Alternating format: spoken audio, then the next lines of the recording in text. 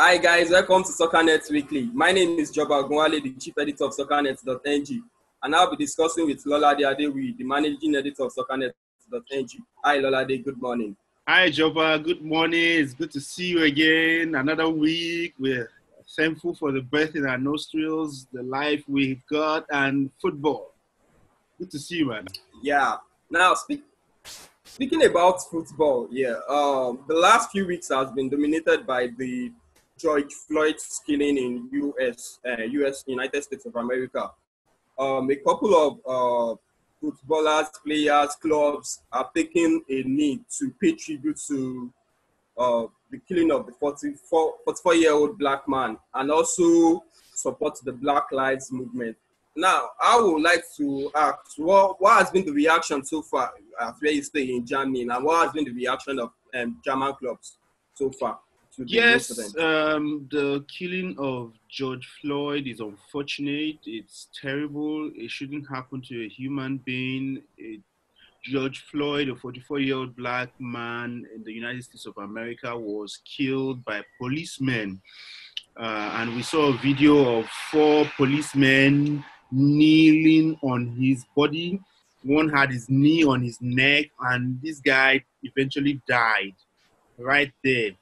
It is a shame that in the 21st century, American police are guilty of systemic racism against black people and the fact now that protests are being uh, staged globally to call for uh, changes in the way black people are, are dealt with by the American system is justified. In the German league, uh, players like um, uh, McKennie of, of, of uh, Schalke, Schalke. who is American himself, and interestingly, I interviewed McKennie in uh, 2018 when I traveled uh, on the tour of Bundesliga. Uh, he uh, had an armband, you know, uh, bringing attention to this cause.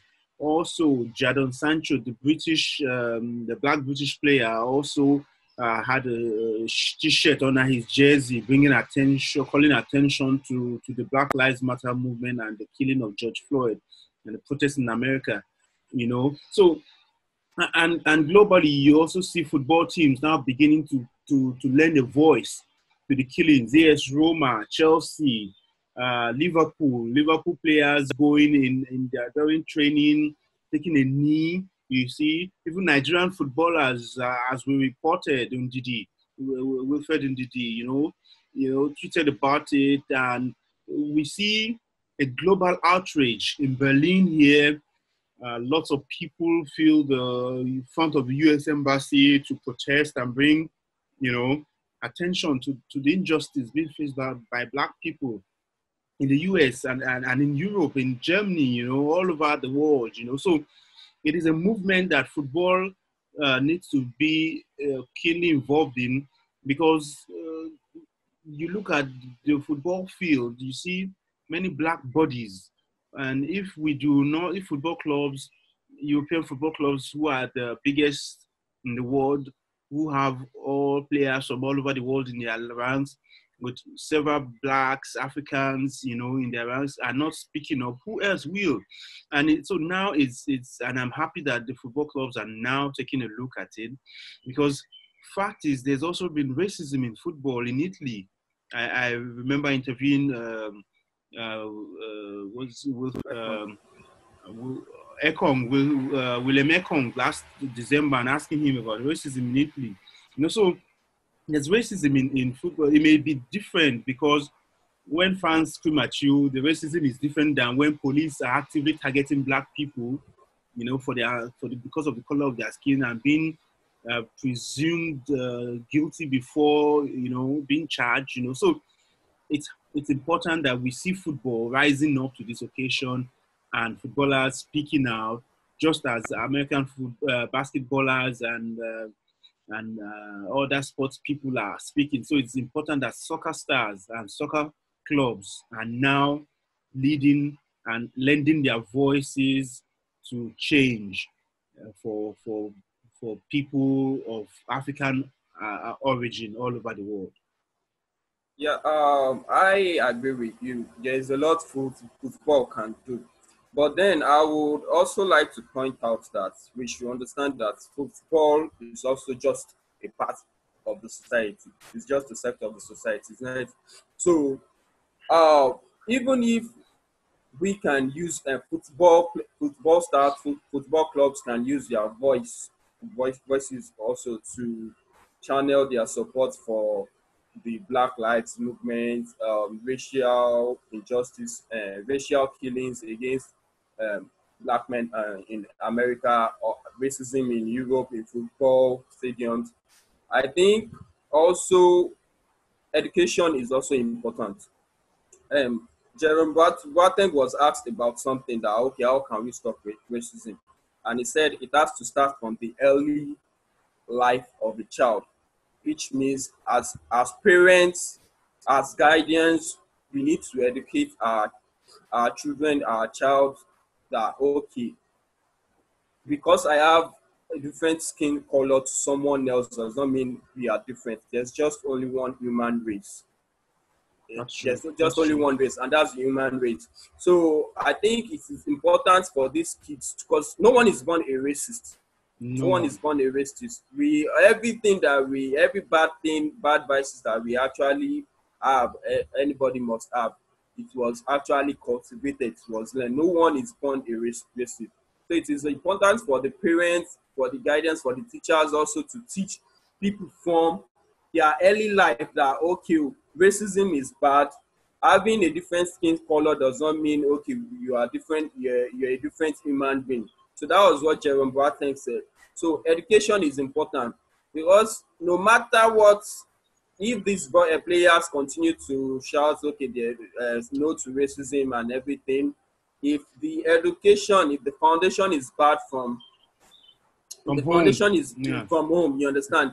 There's little work football can achieve. You understand? So I think it is important for us to also start preaching about education also.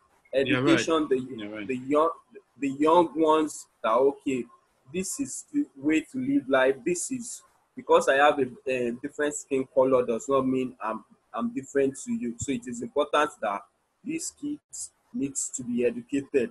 Yeah, right. Yeah, right. Really, really important. I, I, think the, the educational uh, part is really important. The, the, the from home love and and and and um, understanding and uh, uh, being open-minded is something that parents need to teach.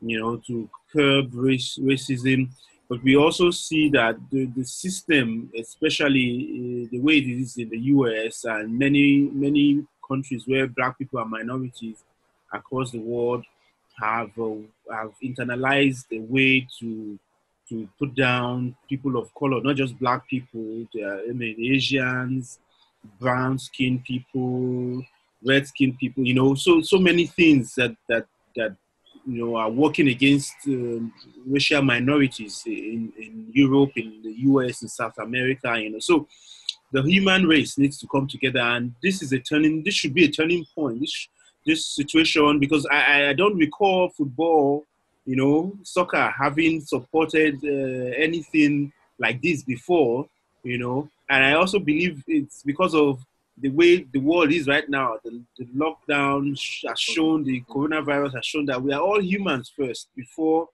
you know, we are different colors. So now it's it's helping everybody have a better perspective, you know, especially in, in the in the sports in the football business, you know. So I think it's it's a good thing that that soccer teams are raising their voices and lending their voices to this. So that that, that is all for me.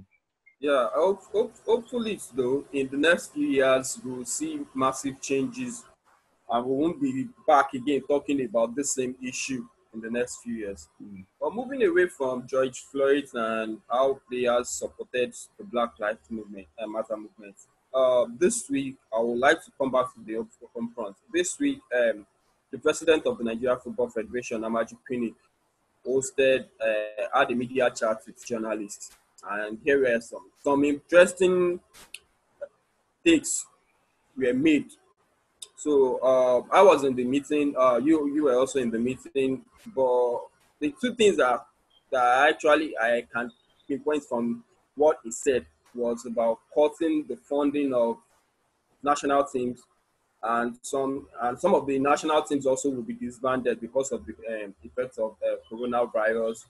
Then two, he said the objective set for Gernot um, are not set in stone, so it is flexible. It doesn't mean if if you wins, if it does not win the uh, Africa Cup of Nations, you will get sacked.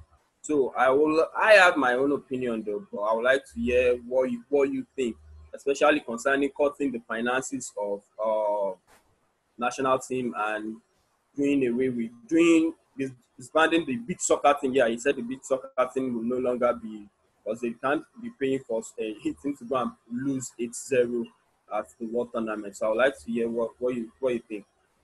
Okay, so um, the truth is that Nigerian football, like many football organizations across the world, will need to rethink its strategy, uh, its management options in the post COVID 19 era. Financially, everyone is struggling, even their sponsors, as uh, Mr. Pinnick uh, agreed to. And now they have to renegotiate contracts and ensure that they keep those people on board while uh, hoping that new sponsors come in. So the uh, so it definitely means that there will be reduced funding for their projects, youth development, uh, national teams. And now you look at it in, in, in perspective, which national team really brings in uh, money to the NFF? It's the Super Eagles. Super Eagles yeah. Even the Super Falcons, it's uh, really uh, limited because um, I, I recall only one main sponsor for them during the. I recall just one main sponsor for the women's team, uh, the 2019 World Cup from Nigeria last year, only Amstel Malta, you know. So, but for the Super Eagles, this is the cash cow. And you look at the other teams. Uh, the interesting thing is that the beach soccer team had been disbanded since last year. They had been told they wouldn't be funded anymore since last year. So he was just reiterating uh, about it. We don't have a futsal team. We haven't funded a futsal team in a long time. And then it leaves the, the youth teams under 17, under 17 boys and girls, under 20 uh, boys and girls, and then under 23 men. And it's it's really tough running all these teams when the financial returns are really negligible. But it's they are important in the in the pipeline of talent. You know, you need talent. You need to develop talent through the youth teams, and then so that they grow into your adult teams in future. Unfortunately, um, the funding to them, I think we over time those youth teams have been used in a way that has shown, I mean, made them feel like they are just utilities. We only bring a youth team together. We don't have a youth league, a youth system, a nationwide youth system that keeps these players uh, active. You know, so uh, it will be a disservice if the NFF stops funding youth teams. But he also said that what their plan is is to and uh, discourage the payment of bonuses and you know, they will reduce funding of match bonuses or camp allowances. The teams will only be able to earn money, the youth teams, if they get to a tournament and they you know do substantially well and get mm. uh, tournament uh, winnings, and then they can keep the tournament winnings 100%. That's the only way they will, they will be kept. But what I see happening is that Nigerian youth teams, the Nigerian Football Federation will struggle for funds. I do not know um, how they will do in, terms of funding because even the national budget is being reduced, you know, and sports um, 30% will, will, will, will, will suffer it a lot too when we need uh, hospitals, we need schools, you know, sports right now. If uh, it cannot achieve private funding under the NFF will struggle. On the second part for Gernot Rohr's contract, I believe that now that Rohr has signed a new contract, and if he wins the AFCON or not, it, it is now in the ball of the NFF. It's now the court of the NFF to to keep him or not. It, it, it's going to be he's, he's, he's going to be judged on his results. But I hope he does well so that he keeps his job and takes that team to the 2022 World Cup. You know, there are forces uh, against him. There, there were forces against him, and there will continue to be people who doubt him. So now he needs to prove himself, and a, a, coach's uh, job is as good as his last result. So it's up to him to to to prove himself and and, and hold, keep that contract to the end. I think you said uh, everything about that, but I would like to add my few points on Gernot Rohr's contract situation. Uh, the uh, Pinnick said, and the NFF president said, uh, the objectives are not set in stone, and the two objectives are to win the Nations Cup and to lead the team to the 2022 World Cup in Qatar. You understand? Uh, I think uh, he, that that um, statement does not clear everything, and I think Rohr has walked into a difficult difficult situation. But what I just don't understand is that the African Cup of Nations, the African Cup of Nations, is likely will likely be postponed to 2022.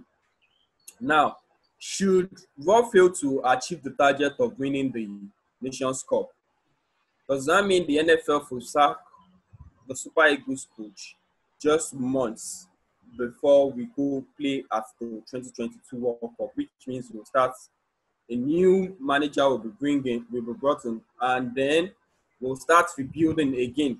So I actually don't understand. Oh, but but you see, it's, it's been done before. It's been done we that was in 20, Amodu twice, twice. And, and in, actually saw in 2002, two. after the Africa Cup of Nations in Mali, he was sacked, and then we went to the World Cup with uh, Coach Onigbinde, and then in 2010 yeah. he was sacked after the Cup of Nations in Angola, and then we went to the World Cup in South Africa with Lagerback. So nothing is uh, nothing is strange in Nigerian football. Oh. So and we saw, we, they are precedents. And we saw how the two uh, how it all ended for us. I think those are our two worst World Cup tournaments. We mm. we we didn't win any game, or we had just one draw and we mm-hmm. lost two lost two games. Mm. So I think I think uh, the object while I think the objectives are realistic, they are, they are realistic targets. I don't think it should be something that should cost him his job if he fails to win the Africa Cup of Nations also. Mm. Nigeria is definitely one of the favorites to win next AFCON. But we all know that tournament football is also always tricky. It's not really about having the best team or, or, or so.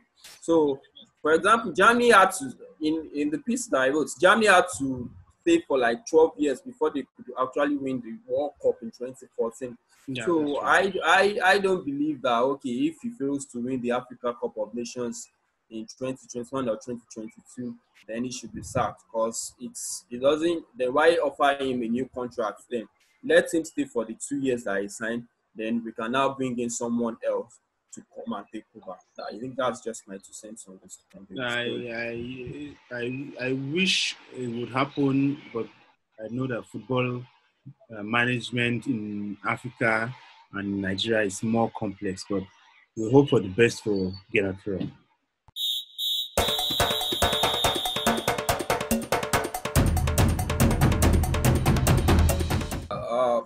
are still sticking uh, sticking with the Nigerian uh, national team. Uh, we were arguing about what, what what was Mikel's legacy in the national team. Yeah, I said he was just another player in in the Super Eagles. You said he's a great player. So I will, I have my own reasons. You have your own reasons why you said he's a great player. But past, to me, I think Mikel, you can't say Mikel is in the class of Austin J.J. Okocha, um, the likes of Emmanuel Amunike, uh, Victor Ikpeba. So to me, he was, he had success, he had everything, he won everything at club level. He won the Africa Cup of Nations with Nigeria also. But I think Mikel's influence was overrated. I, and I think he was just another player in the national team. I don't think you will see any play, any any child growing up now and saying, okay, he wants to grow up and be like and be, and, and be like Mikel. You understand? His influence, his influence, you can't compare his influence that of Okocha and Kanu and and Kanu. I'm not I'm not disputing the fact of that he won a lot. I think the best the best tournament Mikel played for Nigeria was at the Under 20 World Cup in 2005. But since he moved to Chelsea, when he moved to Chelsea, when he was converted to a def- defensive midfielder, I think that was when he lost his spark. Although some will say Andre Pirlo also was also started as an attacking midfielder before he was converted as a regista, and Pirlo, Pirlo excelled in that role. So why? So it's, it's just like making an excuse for for Mikel. okay, so Joba, uh, you've talked, you've talked, you've talked your own. You keep talking yeah. about this. Let me say, if you say that the child, no child, that first point that no child in Nigeria grows up wishing they were Mikel. Let me tell you the truth is, your best player right now, your high, your greatest, your your highest rated player in football right now is Wilfred Ndidi. Wilfred yeah. Ndidi has granted an interview in the past where he said he wanted to be Mikel. He modeled his game after Mikel. Your midfielder, uh, under 20, former under 20 captain, um, uh, Azeez, Ramon Azeez, wanted to be Mikel. All these guys Azeez? wanted to play who like knows, Mikel. Wilfred Ndidi is a defensive midfielder, so it's normal for him to say, Look. okay, he wants to model his game around Mikel. That's what I'm saying. It's normal to there even at the 20 even, even at the 20 even at the 2013 Nations Cup to be Mikel.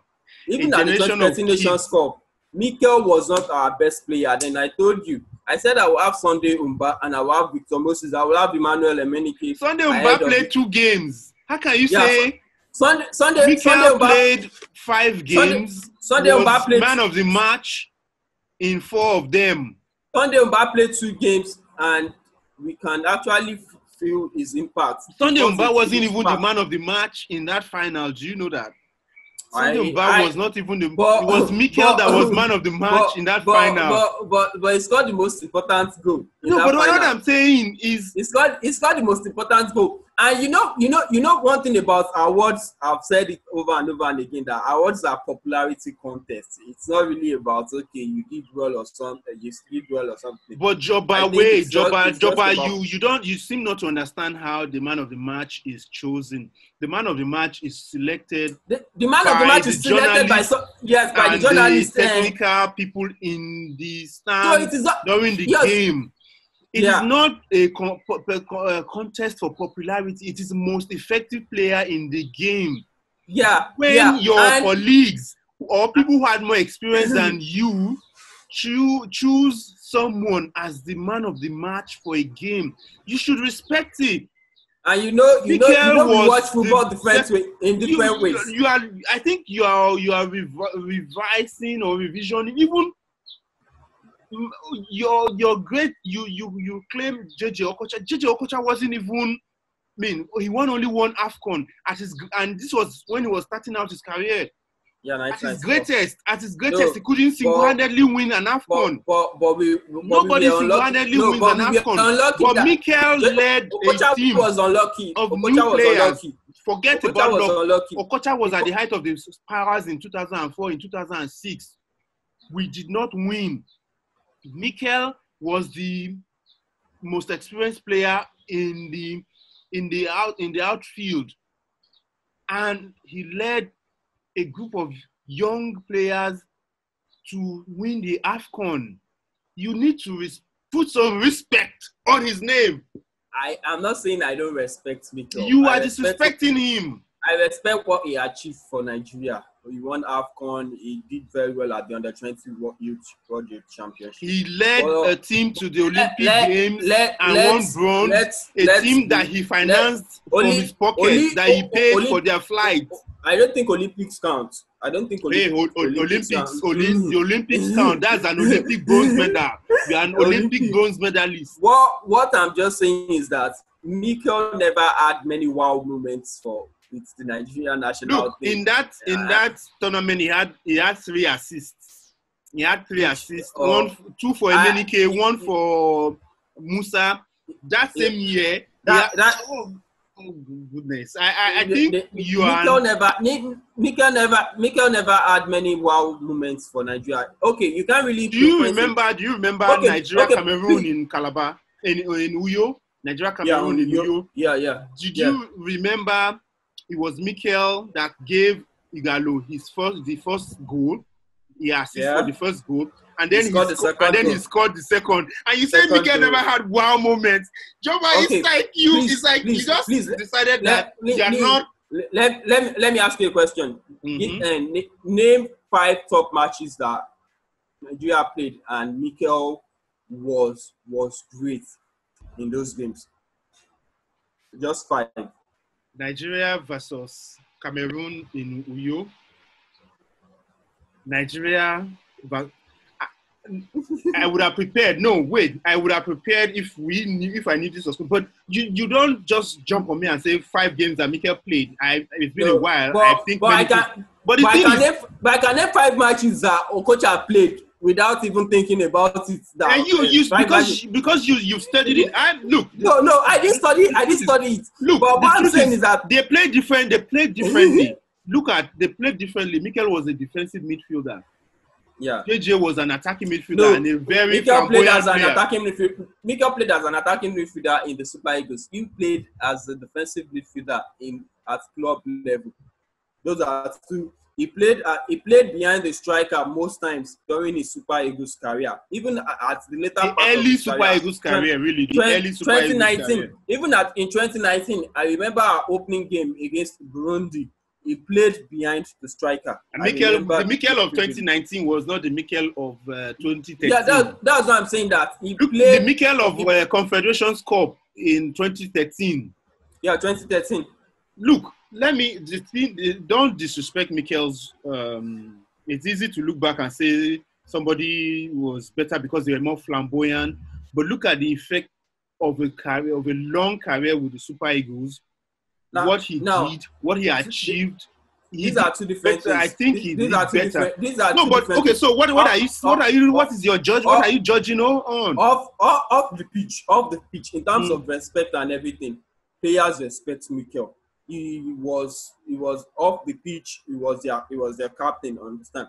But what I'm talking about right now is action on the pitch. Action on the pitch. Mikel never had, at most, he had just top five one top five moments with the Nigeria national team, and that that was it on the pitch. I'm not talking about. I respect his achievements. I respect okay his influence in the team, but on the pitch, on the pitch, I'm talking about on the pitch. Mikel had just maybe one top five top five games for the Super Eagles, and I I, I don't think it is it, it is it is a lie. I don't think anybody would disagree with me. I disagree with just you. I disagree with your with your your perspective, which is which uh, uh, belittles a great career in the national team or for John Obi Mikel. I think you are wrong. I believe that your being revisionist about John Obi Mikel's impact in the national team. and it's, it's sad because this will continue happening. A new generation of uh, journalists or young people will come and poo-poo the previous generation players or something. It is wrong. I was I was at the Africa Cup of Nations in 2013, which was Mikel's greatest year in the Super Eagles, and he was the fulcrum of that young team. He was the most experienced person, and he kept them together. He kept them focused, and you don't have to play fancy. Mikel Mikel did the simple things.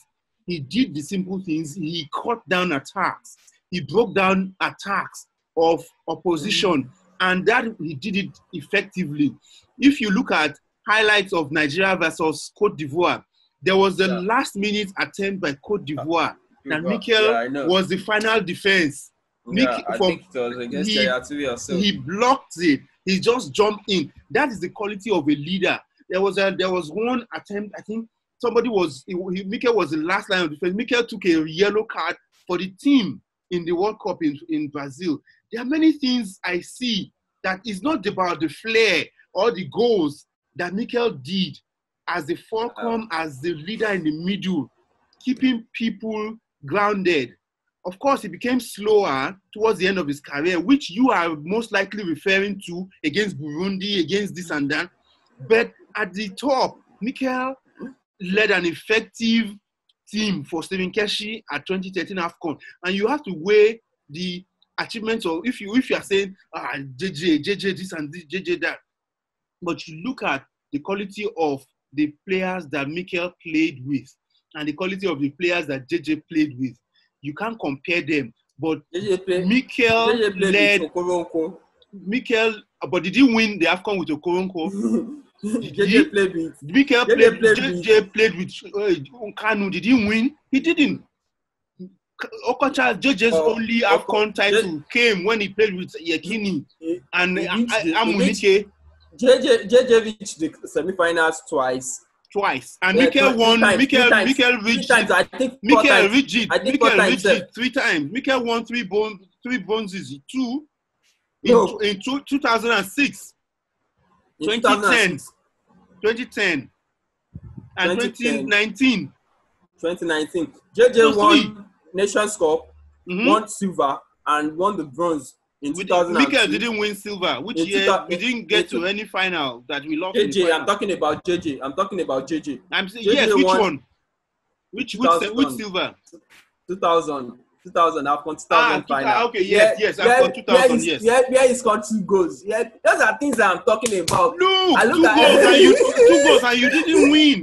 No, But you, a- at- at but least- you had you had least- Victor Ikpeba, African Footballer of the Year, 1990, 1997. Look, look, wait. You had Victor Ikpeba in that squad. You had Nwankwo Kanu, two times African Footballer of the Year, but you couldn't win the AFCON. JJ You had Tijani Babangida, JJ you had George Finidi, JJ you had Sunday Oliseh in that squad. JJ won games on his own for Super Eagles. Joba, we know, but look at the quality of players they played with, and yet they couldn't win at home. They couldn't win at home. Okay, eh, Anyways, I think this argument will It will never stop. It will never stop. But I just say let's Oh, respect John I- Obi Mikel's. I, res- I respect I, res- I respect Mikel's I respect Mikel's influence of the pitch and among the players. I just And think on the field, he was immense. He I- was the I best just- I player just we had on, at the on- 2013 AFCON. You have let's leave it at that. We are yeah, taking yeah but, no, no problem though. Anyways, probably fans will help us to settle this. And So, guys, let's hear your comments in the section. In the comment Section. send us your feedback. We want to know what you think. This argument may never end because um, What- but we have to let what you would be go. Mikel's legacy in the national team? Was he a great player or just another squad, another player in the national team? Talking about his performances on the pitch. But anyways, um, we've come to the end of this week's show. Um, this weekend the Bundesliga is back again. Start from from next weekend, the La Liga will- uh, La Liga will resume. Then June 20, the Premier League is back. So I think this month started on a good note, and we are glad to have football back. So we'll be back again next weekend to talk about a series of interesting topics. So um, I'll be here again. My name is Oluwajoba Ogunwale, the chief editor of SoccerNet.ng, and Lolade also will be here again. So Lolade, do you have any final words to? Thank you guys for watching. Thank you for staying tuned. We wish for your feedback. Enjoy your weekend and um, take care. Enjoy football. Ciao. All right, all right. Bye. See you guys next week.